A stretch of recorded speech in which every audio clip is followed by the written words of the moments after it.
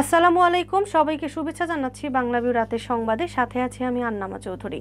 প্রথমেই লতিফ ট্রেভেলস সংবাদ শিরোনাম।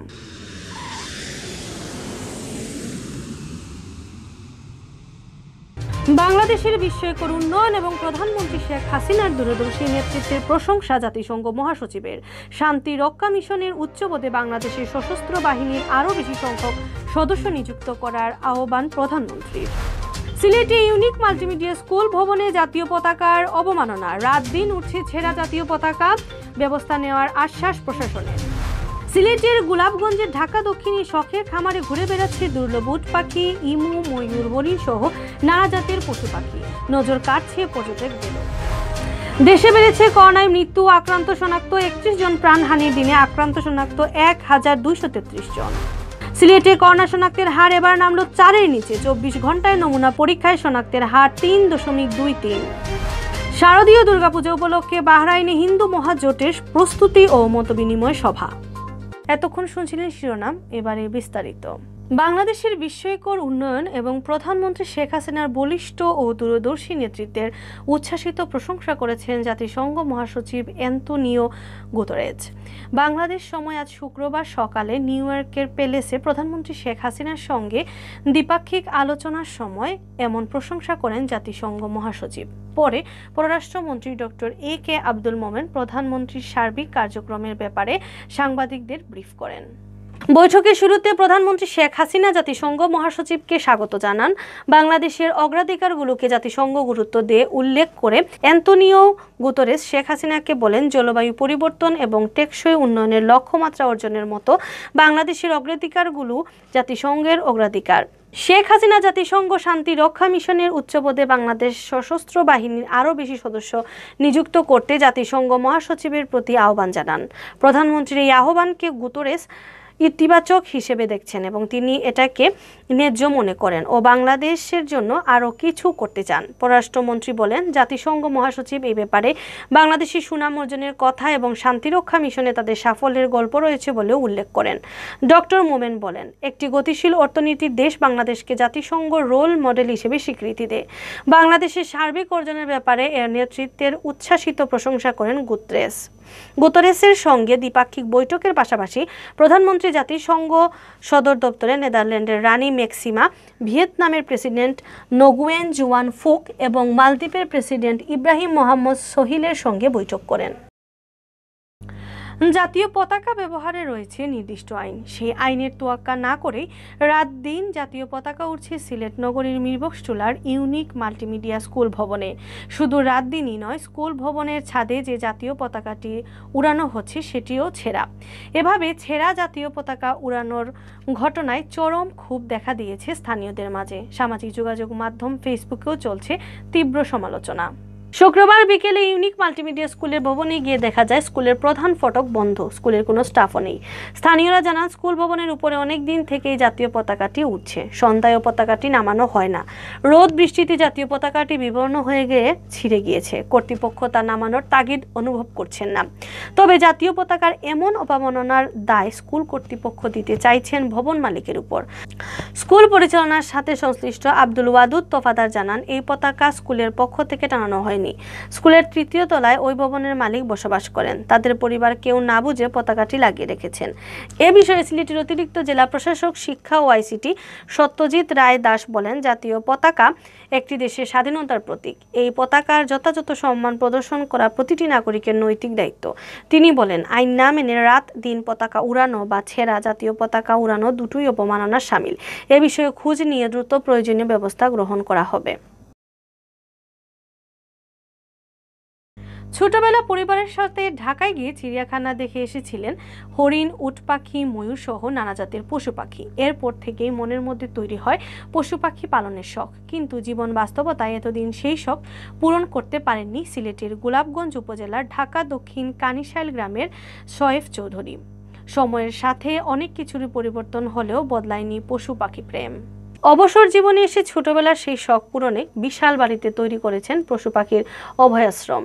সেই অভয়াশ্রমে ঘুরে বেড়ায় আফ্রিকার সাহারা মরুভূমির দক্ষিণের তৃণভূমি অঞ্চলের বিখ্যাত উট পাখি, অস্ট্রেলিয়ার জাতীয় পাখি ইমু, ময়ূর হরিণসহ নানা জাতের দুর্লভ পশু পাখি। তিন বছর আগে গড়ে তোলা এই অবশ্রমে এসব প্রাণী দেখতে এখন সিলেট সহ বিভিন্ন জেলার পর্যটকরাও ভিড় করেন সৈয়দ চৌধুরীর বাড়িতে।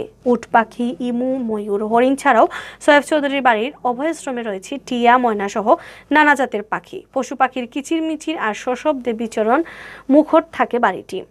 ধীরে ধীরে পুরো বাড়িকে একটি চিড়িয়াখানায় পরিণত করার স্বপ্ন দেখেন পশুপ্রেমী সৈয়দ চৌধুরী। সৈয়দ চৌধুরী জানান, ছোটবেলা থেকেই তার শখ ছিল হরিণ পালনের। ছবিতে হরিণ দেখতেন। শখ করে অনেককে হরিণ লালন পালন করতেও দেখতেন।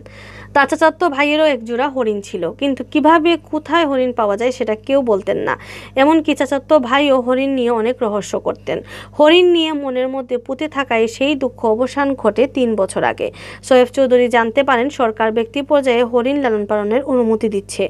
এই খবর পাওয়ার পরই মৌলভীবাজারের বন বিভাগ থেকে তিনি লাইসেন্স নেন। এরপর শ্রীমঙ্গল ও বিশ্বনাথ থেকে আশি হাজার টাকা জোড়া করে তিন জোড়া হরিণ শাবক ক্রয় করেন। এখন বাড়ির অভয়াশ্রমে হরিণের সংখ্যাও বেড়েছে। ছোটবেলায় চিড়িয়াখানায় গিয়ে দেখে আসা দুর্লভ প্রজাতির পাখির প্রতি বড় হয়েও ঘোর কাটেনি সৈয়দ চৌধুরীর। খুলনা থেকে নিয়ে আসেন উট পাখি ও ইমু। তবে দুর্লভ এই পাখি পালনে সৈয়দ চৌধুরীর উদ্দেশ্য ভিন্ন। শুধু শখ নয়, এর সাথে রয়েছে এলাকার শিশুদের প্রতি বিশেষ দুর্বলতা। এলাকার গরিব শিশুরা ঢাকায় চিড়িয়াখানায় গিয়ে কোনো দিন এসব দুর্লভ পাখি দেখার সুযোগ পাবে না। বইয়ের পাতায় দেখা এসব পাখি কেবল তাদের কল্পনাই থেকে যাবে। আফসোস থাকবে শিশু মনে। এই মানসিকতা থেকেই তিনি বাড়িতে নিয়ে আসেন উট পাখি, ইমু ও ময়ূরের মতো দামি পাখি। তিন বছর থেকে এসব পাখিরাও আশ্রয় হয়েছে সৈয়দ চৌধুরীর বাড়িতে। সৈয়দ চৌধুরী জানান, দুর্লভ প্রজাতির পশু পাখি দেখতে পেয়ে খুশি এলাকার মানুষ। বিশেষ করে ছোট শিশুদের মনের খোরাক হয়েছে। এছাড়া সিলেট সহ বিভিন্ন এলাকা থেকে প্রতিদিন পর্যটকরা আসেন তার এই অভয়াশ্রম দেখতে। আগামীতে এই অভয়াশ্রমে আরও পশু পাখি যোগ করার পরিকল্পনার কথাও জানান তিনি। পশু পাখির অভয়াশ্রম গড়ে তোলা ছাড়াও নিজ গ্রামে সৈয়দ চৌধুরী ও তার ভাই হাবিল আহমদ চৌধুরী মিলে গড়ে তুলেছেন এবিকে চ্যারিটেবল হসপিটাল, যেখানে সরকারি ছুটির দিন ছাড়া এলাকার লোকজনকে ফ্রিতে চিকিৎসা সেবা দেওয়া হয়। ব্যবস্থাপত্রের পাশাপাশি ফ্রিতে দেওয়া হয় ঔষধও। হাসপাতালের এক পাশ করা হয়েছে free charitable computer training centre. এলাকার যুব সমাজ সেখানে ফ্রিতে কম্পিউটার প্রশিক্ষণের সুযোগ পাচ্ছেন। প্রায় সাত আট বছর আগে আমি এক জায়গায় বেড়াইতে গেছিলাম। সেখানে বাড়িতে দেখি হরিণ আছে। ভাবলাম কীভাবে হরিণ কিনলো বা কীভাবে আনা যায়? শ্রীমঙ্গল থেকে আমতলি বাগান, ওইখান থেকে আরও দুইটা কিনে নিয়ে আসলাম। এই ছিল মোট পাঁচটা আমার এখন আমি তো খুবই খুশি। যাক, আমার লাইফের এগুলোর প্রতি খুব দিয়েছিল একটা। আমার ওই আশাটা পূর্ণ হয়েছে। আমাদের গ্রামের লোকজন ম্যাক্সিমাম তারা বাইরে গিয়ে যে এইগুলা বাচ্চাদেরকে দেখাবে, সেই অবস্থা তাদের নাই। এই কারণে এই চিন্তা করে যে এখানে যদি হয় তো এই আশপাশ গ্রামের যারা খবর জানে তারা আসিয়া দেখো, দেখবে এনজয় করবে। এটাই আমার সবচেয়ে খুশি। করোনা ভাইরাসে আক্রান্ত হয়ে দেশে গেল চব্বিশ ঘন্টায় একত্রিশ জনের মৃত্যু হয়েছে। এ নিয়ে মোট মৃত্যুর সংখ্যা দাঁড়াল সাতাশ হাজার তিনশো আটষট্টি জনে। চব্বিশ ঘন্টায় নতুন করে করোনা শনাক্ত হয়েছে এক হাজার দুইশো তেত্রিশ জনের। এতে মোট শনাক্ত রোগীর সংখ্যা দাঁড়িয়েছে পনেরো লাখ উনপঞ্চাশ হাজার পাঁচশো তিপ্পান্ন জন। শুক্রবার স্বাস্থ্য অধিদপ্তর থেকে পাঠানো করোনা বিষয়ক নিয়মিত সংবাদ বিজ্ঞপ্তিতে এইসব তথ্য জানানো হয়। এর আগে বৃহস্পতিবার চব্বিশ, বুধবারে ছত্রিশ, মঙ্গলবারে ছাব্বিশ, সোমবারে ছাব্বিশ, রবিবারে তেতাল্লিশ, শনিবারে পঁয়ত্রিশ জনের মৃত্যু হয়। স্বাস্থ্য অধিদপ্তরের বিজ্ঞপ্তিতে বলা হয়েছে, চব্বিশ ঘন্টায় করোনা থেকে সুস্থ হয়েছেন এক হাজার চারশো তেরো জন। এ পর্যন্ত মোট সুস্থ হয়েছেন পনেরো লাখ নয় হাজার দুইশো দুই জন। গত চব্বিশ ঘন্টায় সাতাশ হাজার একশো একচল্লিশ জনের নমুনা সংগ্রহ করা হয়। পরীক্ষা করা হয় সাতাশ হাজার একশো একচল্লিশটি নমুনা। পরীক্ষার বিপরীতে রোগী শনাক্তের হার চার দশমিক পাঁচ চার শতাংশ। এ পর্যন্ত মোট পঁচানব্বই লাখ উনআশি হাজার একশো এগারোটি নমুনা পরীক্ষায় শনাক্তের হার ষোলো দশমিক এক আট শতাংশ। চব্বিশ ঘন্টায় যে একত্রিশ জন মারা গেছেন, তাদের মধ্যে পুরুষ আঠারো জন ও নারী তেরো জন। এ সময়ের মধ্যে ঢাকা বিভাগে ষোলো জনের মৃত্যু হয়েছে, চট্টগ্রামে আট, রাজশাহীতে দুই, খুলনায় এক, সিলেটে এক রংপুরে দুই ও ময়মনসিংহে একজন মারা গিয়েছেন। তবে বরিশালে কারও মৃত্যু হয়নি। গত বছর আট মার্চ দেশে প্রথম তিনজনের দেহে করোনা শনাক্ত হয়। এর দশ দিন পর ওই বছরের আঠারো মার্চ দেশে এ ভাইরাসে আক্রান্ত হয়ে প্রথম একজনের মৃত্যু হয়। এদিকে সিলেটে করোনা ভাইরাসের শনাক্তের হার চারের নিচে নেমে এসেছে। গেল জুন মাসের মধ্যভাগের পর এই প্রথম এত কম সংক্রমণের হার দেখা গেল সিলেটে। স্বাস্থ্য অধিদপ্তরের সিলেটীয় বিভাগীয় কার্যালয় থেকে এ তথ্য জানা গিয়েছে। স্বাস্থ্য অধিদপ্তর জানায়, বৃহস্পতিবার সকাল আটটা থেকে শুক্রবার সকাল আটটার মধ্যে সিলেট জেলায় একজন করোনা রোগী মারা গিয়েছেন। তাকে নিয়ে বিভাগে মৃতের সংখ্যা এখন এক হাজার একশো বাহান্ন জন। এর মধ্যে উসমানীতে একশো ষোলো জন সহ সিলেট জেলায় মৃতের সংখ্যা নয়শো একষট্টি জন। মৃতদের মধ্যে সুনামগঞ্জের বাহাত্তর জন, মৌলভীবাজারের বাহাত্তর, হবিগঞ্জের সাতচল্লিশ রয়েছেন। এদিকে সর্বশেষ চব্বিশ ঘন্টায় সিলেট বিভাগে একত্রিশ জন করোনা রোগী শনাক্ত হয়েছেন। এর মধ্যে সিলেট জেলায় শনাক্ত হন সাতাশ জন। বাকিদের মধ্যে মৌলভীবাজারে দুইজন হবিগঞ্জের দুইজন রয়েছেন। সুনামগঞ্জে কোনো করোনা রোগী মেলেনি। এস নয়শো একষট্টি জনের নমুনা পরীক্ষা করে তাদেরকে শনাক্ত হয়। শনাক্তের হার তিন দশমিক দুই তিন ভাগ। আগের চব্বিশ ঘন্টায় আটশো আঠারো জনের নমুনা পরীক্ষা করা হয়, শনাক্তের হার চার দশমিক এক ছয় ভাগ ছিল। সব মিলে বিভাগে করোনা আক্রান্তের সংখ্যা এখন চুয়ান্ন হাজার চারশো বিয়াল্লিশ জন। এর মধ্যে উসমানী মেডিকেল কলেজ হাসপাতালে চার হাজার সাতশো নব্বই জন সহ সিলেট জেলায় শনাক্তের সংখ্যা তেত্রিশ হাজার পাঁচশো পঁচিশ জন, সুনামগঞ্জে ছয় হাজার দুইশো উনত্রিশ জন, মৌলভীবাজার জেলায় আট হাজার বাহাত্তর জন, হবিগঞ্জে ছয় হাজার ছয়শো ষোলো জন শনাক্তের তালিকায় রয়েছেন। সিলেট বিভাগীয় স্বাস্থ্য পরিচালক ডাক্তার হিমাংশু লাল রায় জানান, সর্বশেষ চব্বিশ ঘণ্টা বিভাগে সুস্থ হয়েছেন আঠাশ জন।